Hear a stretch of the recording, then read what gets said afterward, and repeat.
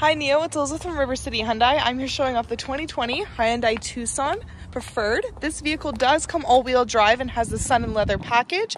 It has a stunning exterior in silver that pairs really well with its beautiful leather interior. Coming inside to show you some features, we do have our Bluetooth phone connection system here. We also have our touchscreen radio system along with our heated steering wheel and our heated seats. This vehicle does have a beautiful panoramic sunroof that stretches all the way to the back, and as you can see, we do have plenty of room for our passengers back here. This vehicle looks great in this video and even better in person. Please let me know when you can come check it out.